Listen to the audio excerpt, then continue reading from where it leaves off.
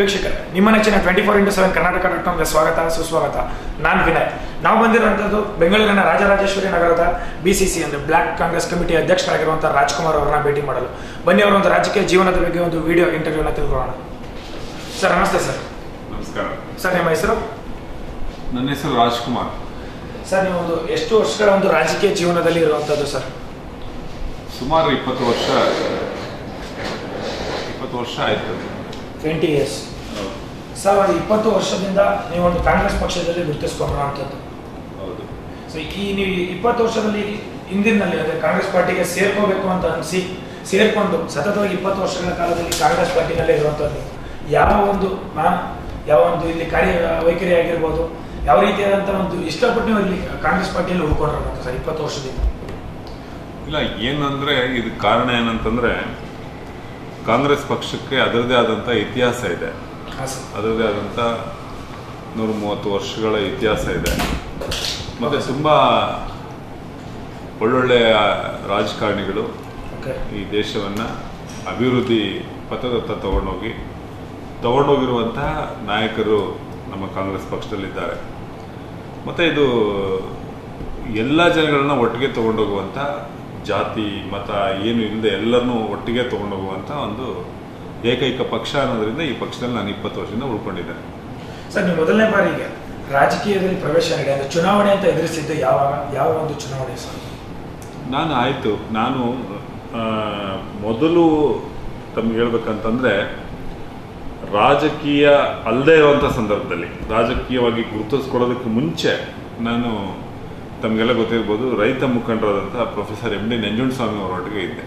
ಹೌದು ಸರ್. ಒಟ್ಟಿಗೆ ನನ್ನ ಜೊತೆಯಲ್ಲಿ ಕರ್ಕೊಂಡು ಓಡಾಡೋದು ಅದು ಮಾಡ್ತಾಯಿದ್ರು ಅವರ ಅವರು ರೈತರ ಪರ ಹೋರಾಟ ಮಾಡ್ತಿದ್ದಂಥದ್ದು ಮತ್ತು ಅವರು ರೈತರ ಬಗ್ಗೆ ಅವ್ರಿಗಿದ್ದಂಥ ಕಾಳಜಿ ಮತ್ತು ಅವರು ರೈತರಿಗೆ ಮಾಡ್ತಿದ್ದಂಥ ಸಹಾಯ ಮತ್ತು ಅವರು ರೈತರಿಗೆ ಆಗಿದ್ದಂಥ ಧ್ವನಿ. ಅವರು ರೈತರ ಧ್ವನಿ ಆಗಿದ್ದರು ಆಗಿಂದ ನಮಗೆ ಎಲ್ಲೋ ಒಂದು ಕಡೆ ಚಿಗುರಕ್ಕೆ ಶುರುವಾಯಿತು. ನಾವು ಸಹ ಸಮಾಜ ಸೇವೆ ಮಾಡಬೇಕು. ಸಮಾಜದಲ್ಲಿ ಗುರುತಿಸ್ಕೋಬೇಕು, ನಾಲ್ಕು ಜನಕ್ಕೆ ಸಹಾಯ ಮಾಡಬೇಕು ಅನ್ನೋ ಅಂಥದ್ದು ಪ್ರೊಫೆಸರ್ ನಂಜುಂಡಸ್ವಾಮಿ ಅವ್ರನ್ನ ನೋಡಿ ಕಲಿತೆ. ಹಾಗೆ ಬರ್ತಾ ಬರ್ತಾ ನಾನು ಸನ್ಮಾನ್ಯ ಶ್ರೀಯುತ ಡಿ ಬಿ ಕಲ್ಮಣ್ಕರ್ ಅವ್ರನ್ನ ನೀವು ಕೇಳಿರ್ಬೋದು. ಡಿ ಬಿ ಕಲ್ಮಣ್ಕರ್ ಅವರು ಸ್ಪೀಕರ್ ಆಗಿದ್ರು, ಮೇಲ್ಮನೆ ಸಭಾಪತಿ ಆಗಿದ್ರು, ಮತ್ತು ಅವರ ಒಡನಾಟ ಹಾಗೆ ಬೆಳೀತಾ ಬಂತು. ಆ ಸಂದರ್ಭದಲ್ಲಿ ಅವರು ಇಲ್ಲೊಂದು Netaji Subhash Chandra Bose research and multi development trust ಅಂತೇಳಿ ರಾಜೇಶ್ವರಿ ನಗರದಲ್ಲಿ ಶುರು ಮಾಡಿದಾಗ ನನ್ನನ್ನು ಅದಕ್ಕೆ ಆರ್ಗನೈಸಿಂಗ್ ಸೆಕ್ರೆಟರಿ ಆಗಿ ತಗೊಂಡ್ರು. ಸೊ ಅವರು ಮೂಲತಃ ಗುಲ್ಬರ್ಗಾದಿಂದ ಬಂದು ಇಲ್ಲಿ ಕಾಂಗ್ರೆಸ್ ಪಕ್ಷದಲ್ಲಿದ್ದಂಥವ್ರು. ಅವರು ಸುಮಾರು ನಲವತ್ತು, ನಲವತ್ತೈದು ವರ್ಷಗಳ ಕಾಲ ಕಾಂಗ್ರೆಸ್ ಪಕ್ಷದಲ್ಲಿ ಸೇವೆಯನ್ನು ಮಾಡ್ಕೊಂಡು ಬಂದಂಥದ್ದು. ಅವರೆಲ್ಲ ನಮಗೆ ಸ್ಫೂರ್ತಿ. ಇವತ್ತಿಗೂ ನಾವು ಕಾಂಗ್ರೆಸ್ಸಲ್ಲಿ ಇದ್ದೀವಿ. ಟಿಕೆಟ್ ಕೊಡಲಿ, ಕೊಡ್ದಾ ಇರಲಿ, ಅಧಿಕಾರ ಕೊಡಲಿ, ಕೊಡ್ದಾ ಇರಲಿ, ಬೇರೆ ಕಡೆ ಎಲ್ಲೂ ಆರೋ ಅಂತ ಕೆಲಸ ಮಾಡಬಾರ್ದು ಅನ್ನೋದಕ್ಕೆ ಅಂಥವರೆಲ್ಲ ಸ್ಫೂರ್ತಿ ಅಂತ ಹೇಳಲಿಕ್ಕೆ ಇಷ್ಟಪಡ್ತೇನೆ. ಚುನಾವಣೆಗೆ ನೀವು ಸ್ಪರ್ಧಿಸಿರುವಂಥದ್ದು ಬಿ ಬಿ ಎಂ ಪಿ ಚುನಾವಣೆಗೆ ಸ್ಪರ್ಧಿಸಿದ್ರೆ ಅನ್ನೋದು ಅಂತ ಮಾಹಿತಿ. ಸೊ ಯಾವ್ಯಾವ್ದು ಇಲ್ಲ ನಾನು ಮೊದಲು ನನಗೆ ಸನ್ಮಾನ್ಯ ಎಸ್ ಎಂ ಕೃಷ್ಣಜಿ ಅವರು ಮುಖ್ಯಮಂತ್ರಿಗಳಾಗಿದ್ದಂಥ ಸಂದರ್ಭದಲ್ಲಿ ನನಗೆ ಶ್ರೀಯುತ ಡಿ ಕೆ ಶಿವಕುಮಾರ್ ಅವರು ನನ್ನನ್ನು ಸಿ ಎಂ ಸಿ ಚುನಾವಣೆಗೆ ಸ್ಪರ್ಧಿಸಬೇಕು ಅಂತ ಹೇಳಿ ನನಗೆ ಸಿ ಎಂ ಸಿ ಚುನಾವಣೆಗೆ ಸ್ಪರ್ಧಿಸೋದಕ್ಕೆ ಅವಕಾಶ ಮಾಡಿಕೊಟ್ರು. ಅಲ್ಲಿಂದ ನಂದು ರಾಜಕೀಯ ಶುರುವಾಗ್ತಾ ಬಂತು. ಅದಾದ ನಂತರ ಬಿ ಬಿ ಎಂ ಪಿಗೆ ನಿಂತ್ಕೊಳ್ಳೋಂಥ ಅವಶ್ಯಕತೆ ಬಂತು ಅವಕಾಶ ಸಿಕ್ತು. ಅವಾಗ ನಾನು Rajarajeshwari Nagar ward number one ಸಿಕ್ಸ್ಟಿನಲ್ಲಿ B B M ಪಿಗೆ ಸ್ಪರ್ಧಿಸಿದೆ. ಅಲ್ಲಿ ನಾನು ಬಿ ಬಿ ಎಂ ಪಿನಲ್ಲಿ ನಾನು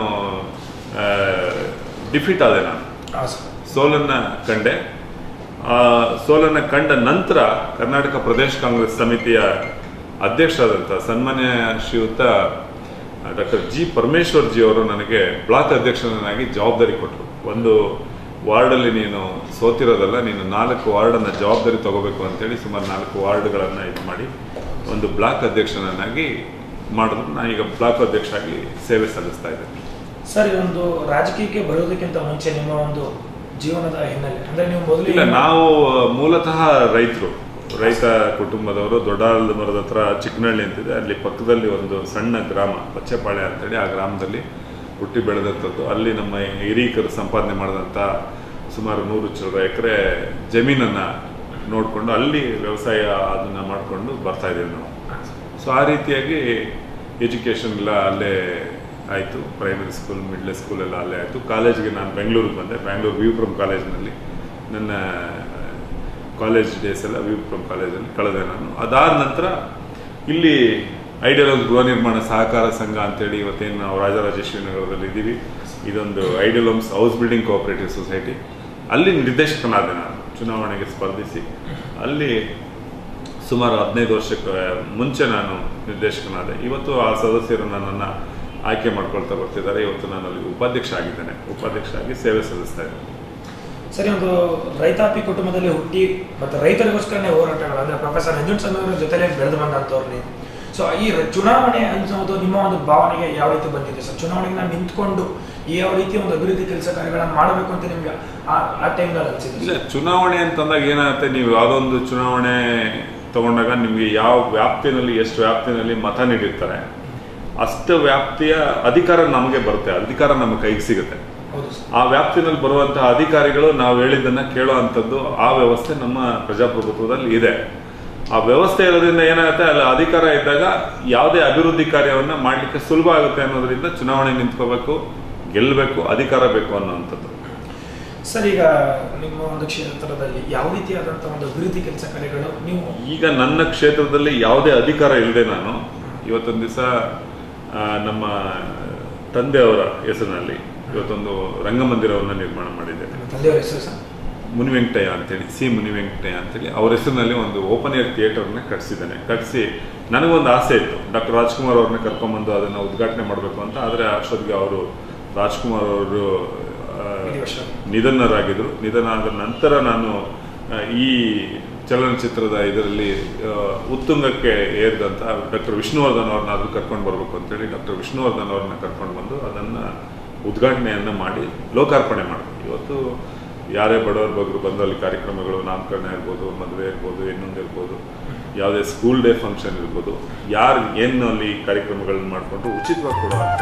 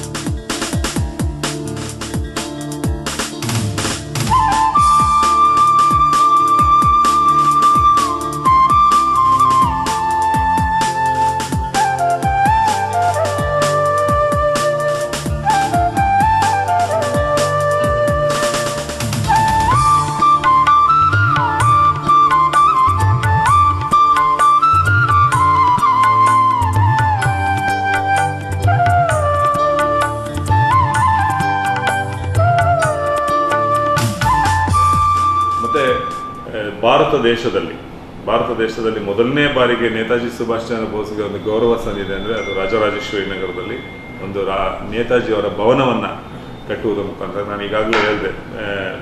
ನಮ್ಮ ಡಿ ಬಿ ಕಲ್ಮಣ್ಕರ್ ಅವರು ಅದಕ್ಕೆ ಅಧ್ಯಕ್ಷರಾಗಿದ್ದರು ಆ ಸಂದರ್ಭದಲ್ಲಿ ಅವ್ರನ್ನ ಕರ್ಕೊಂಡು ಬಂದು ಇಲ್ಲೇ ಸುಭಾಷ್ ಭವನ ಮಾಡಬೇಕು ಅಂತ ಹೇಳಿದಾಗ ಇಲ್ಲಿ ಸುಭಾಷ್ ಭವನವನ್ನು ಮಾಡಲಿಕ್ಕೆ ಒಂದು ಅವಕಾಶವನ್ನು ಮಾಡಿಕೊಟ್ರು. ಅದನ್ನು ಇಲ್ಲಿ ಸುಭಾಷ್ ಭವನವನ್ನು ಮಾಡಿದರೆ ಅದು ಮೊಟ್ಟ ಮೊದಲನೇ ಬಾರಿಗೆ ಭಾರತದಲ್ಲಿ ಮಾಡಿರೋ ಅಂಥದ್ದು ಅದು ನಮಗೆ ಹೆಮ್ಮೆ ಇದೆ. ಈಗ ವೆಸ್ಟ್ ಬೆಂಗಾಲಲ್ಲೆಲ್ಲ ಮಾಡಿದ್ದಾರೆ. ಮಾಡಿರ್ಬೋದು ಬೇರೆ ಬೇರೆ ಕಡೆ ಮಾಡಿರ್ಬೋದು. ಆದರೆ ಮೊದಲು ಮಾಡಿದ್ದು ನಾವು ಮತ್ತೆ ನೇತಾಜಿ ಸುಭಾಷ್ ಚಂದ್ರ ಬೋಸ್ ಅವರ ಮಗಳನ್ನ ಕರ್ಕೊಂಡು ಬಂದು ಅಲ್ಲಿ ಭೂಮಿ ಪೂಜೆ ಮಾಡಿರೋವಂಥದ್ದು. ಈಗಾಗಲೇ ಸುಮಾರು ಮೂರು ಸರ್ತಿ ರಾಜರಾಜೇಶ್ವರಿ ನಗರಕ್ಕೆ ಸುಭಾಷ್ ಚಂದ್ರ ಬೋಸ್ ಅವರ ಮಗಳು ಅನಿತಾ ಪಫ್ ಅಂತೇಳಿ ಮತ್ತೆ ಅವರ ಹಸ್ಬೆಂಡ್ ಮಾರ್ಟಿನ್ ಪಫ್ ಅಂತ ಬಂದು ಹೋಗಿರೋಂಥದ್ದು ಅದೆಲ್ಲ ನಮಗೆ ಸಮಾಜ ಸೇವೆನಲ್ಲಿ ಗೆಲ್ ಗೆಲ್ಲೋದು ಬಿಡೋದು ಅದು ಎರಡನೇದು. ಆದರೆ ಇದೆಲ್ಲ ಮಾಡಿರೋಂಥದ್ದು ನಮಗೆ ತೃಪ್ತಿ ಕೊಟ್ಟಿದೆ. ಯಾಕೆ ಅಂತಂದ್ರೆ ತೃಪ್ತಿ ಕೊಟ್ಟಿರೋ ಅಂಥದ್ದು.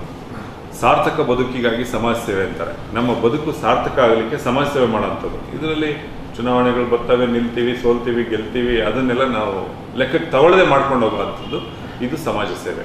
ಸರ್, ಖಂಡಿತ ನಿಮ್ಮ ಕ್ಷೇತ್ರದ ಜನತೆ, ನಿಮ್ಮ ಬೆಂಬಲಿಗರು, ನಿಮ್ಮ ಸ್ನೇಹಿತರು, ಮತ್ತೊಮ್ಮೆ ಈಗ ನೆಕ್ಸ್ಟ್ ಬರ್ತಾರಂತ ಬಿ ಬಿ ಎಂ ಸ್ಪರ್ಧಿಸಿ ಅಂತ ನಿಮ್ಮ ಮೇಲೆ ಒತ್ತಾಯ ಇದ್ರೆ ಅಥವಾ ಆಸೆ ಇಟ್ಕೊಂಡಿದ್ರೆ ನಿಮ್ಮ ಕ್ಷೇತ್ರದ ಜನತೆಗೆ ಯಾವ ರೀತಿ ಉತ್ತರಿಸ್ತೀರಿ? ಇಲ್ಲ ಈಗ ನಾನು ವೈಯಕ್ತಿಕವಾಗಿ ಬಿ ಬಿ ಎಂ ಪಿ ಚುನಾವಣೆಗೆ ಸ್ಪರ್ಧಿಸಬಾರ್ದು ಅಂತ ಇದ್ದೀನಿ. ಆ ಚುನಾವಣೆ ಸಂದರ್ಭದಲ್ಲಿ ಆ ಆ ಸರ್ಕಮ್ಸ್ಟೆನ್ಸಸ್ ಹೇಗಾಗುತ್ತೆ ಏನು ಅದ್ರ ಮೇಲೆ ನಮ್ಮ ಇದು ನಿಂತಿದೆ. ಆಗ ಏನು ತೀರ್ಮಾನ ತಗೊಳ್ತೀವಿ? ನಮ್ಮ ನಾಯಕರುಗಳು ಏನು ತೀರ್ಮಾನ ತಗೋತಾರೆ? ನಮ್ಮ ಮುಖಂಡರು ಏನು ಹೇಳ್ತಾರೆ? ಆ ಮಾರ್ಗದರ್ಶನ ಏನು? ಅದ್ರ ಮೇಲೆ ಮತ್ತೆ ಡಿಪೆಂಡ್ ಆಗ್ತದೆ ಚುನಾವಣೆಗಳು. ಖಂಡಿತ. ನಿಮ್ಮ ಕ್ಷೇತ್ರದಲ್ಲಿ ನಿಮ್ಮ ಜನತೆಗೆ ಅಂದ್ರೆ ನೀವು ಚುನಾವಣೆಗೆ ಸ್ಪರ್ಧಿಸಬೇಕಾದ್ರೆ ಒಂದು ಏನೋ ಒಂದು ಗುರಿ, ಒಂದು ಉದ್ದೇಶನ ಇಟ್ಕೊಂಡು, ಒಂದು ಪ್ರಪೋಸಲ್ ಇಟ್ಕೊಂಡು ನೀವು ಚುನಾವಣೆಗೆ ಎದುರಿಸಿರ್ತೀರ? ಈ ಕ್ಷೇತ್ರ ಆಗಿರ್ಬೋದು ಅಥವಾ ಒಂದು, ಅದು ಒಂದು, ಯಾವುದೇ ಒಂದು ಸಹಕಾರ ಸಂಘ ಆಗಿರ್ಬೋದು, ಒಂದು ಚುನಾವಣೆ ಅಂದ್ರೆ ಒಂದು ಗುರಿಯನ್ನು ಇಟ್ಕೊಂಡು ಚುನಾವಣೆ ಎದುರಿಸುವಂಥದ್ದು.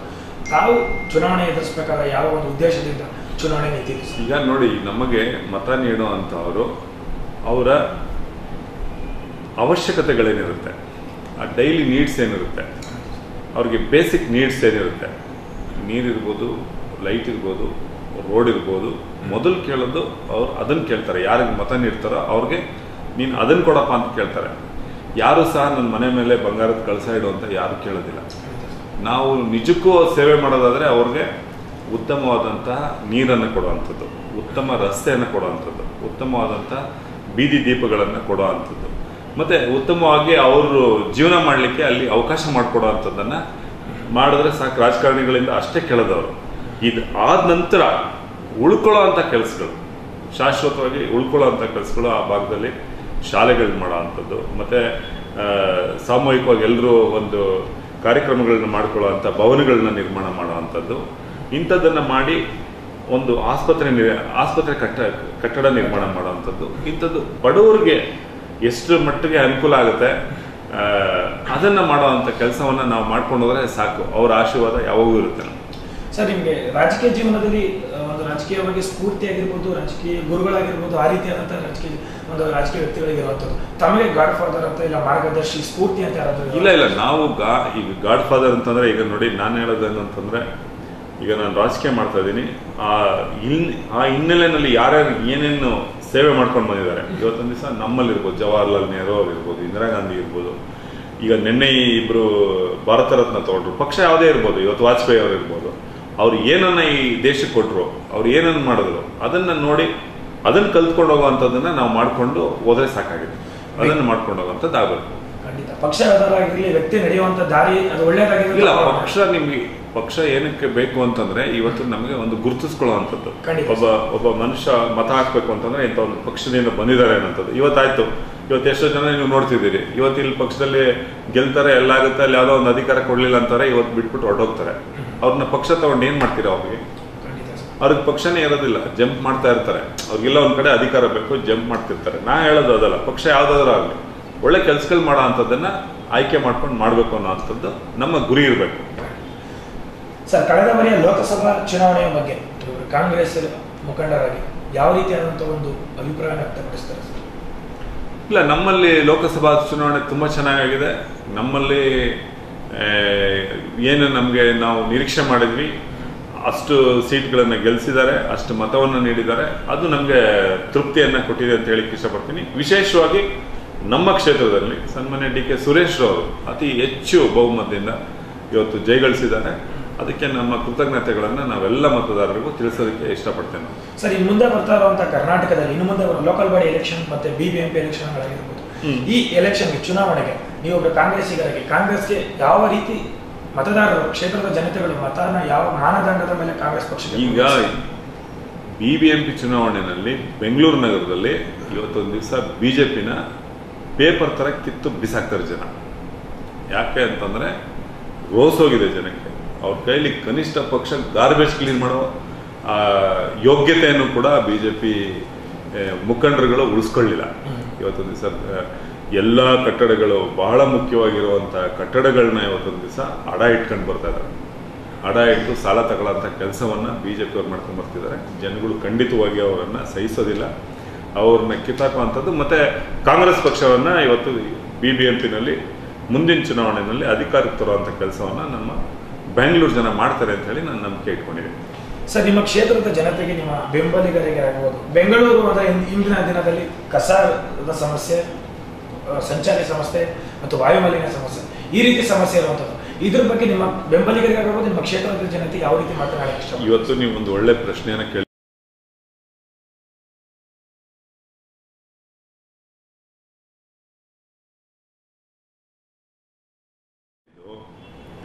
ಈ ಬೆಂದ ಕಾಳೂರನ್ನು ನಿರ್ಮಾಣ ಮಾಡಿದಂಥದ್ದು ಕೆಂಪೇಗೌಡ. ಇವತ್ತು ಅವರ ನಾನ್ನೂರ ಐದನೇ ಜನ್ಮ ದಿನೋತ್ಸವವನ್ನು ನಾವು ಆಚರಣೆ ಮಾಡುವಂಥ ಒಂದು ಇದರಲ್ಲಿದ್ದೀವಿ. ಸುಮಾರು ಐನೂರ, ಸಾವಿರದ ಐನೂರ ಹತ್ತರಲ್ಲಿ ಹುಟ್ಟಿದಂಥ ಕೆಂ, ಕೆಂಪೇಗೌಡರು ಸಾವಿರದ ಐನೂರ ಅರವತ್ತೊಂಬತ್ತರವರೆಗೂ ಬದುಕಿದ್ದಾರೆ ಅವರು. ಅರವತ್ತ, ಐವತ್ತೊಂಬತ್ತು ವರ್ಷ ಅವ್ರು ಬದುಕಿರೋಂಥ ಸಂದರ್ಭದಲ್ಲಿ ನೀವು ಕಲ್ಪನೆ ಮಾಡೋಕ್ಕೆ ಆಗೋದಿಲ್ಲ.